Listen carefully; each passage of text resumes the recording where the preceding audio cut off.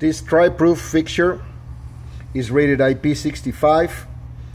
It can be requested with a end connector, male and female, IP65 also, so it can be used outside for any kind of application. The uh, lens is UV uh, resistance, easy to install, ceiling mount or hanging with these clamps that are